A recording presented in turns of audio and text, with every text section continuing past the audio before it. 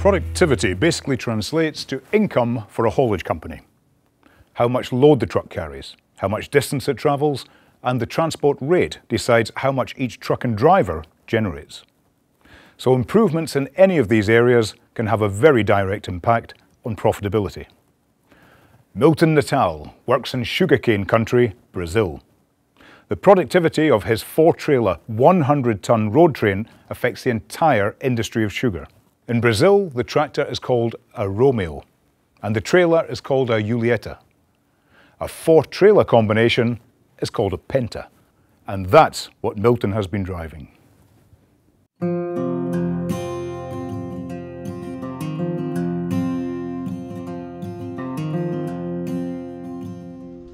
Com Penta, a história de andar com Penta exige do, do motorista experiente, tá com ele acostumado, né? Que andar com uma carreta e um penta, que chama Romeu e Julieta, né? Que seria. E com um penta é diferente. Você não pode nem pensar em usar broquilho descendo. E nem só o freio do pé. Sabe né? Você tem que usar o da carreta, estacionário. Mais o da carreta. Que aí ele alinha.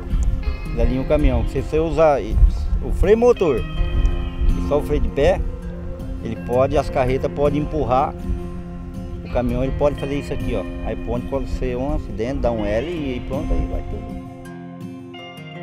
A carga mais pesada que eu levei, uma vez foi com um penta. E uma vez só. Uma viagem só também. Como foi a primeira no começo, a gente ficou meio cismado, mas foi tudo de bom, de boa. Tem problema nenhum. Meio devagar, mas foi bem.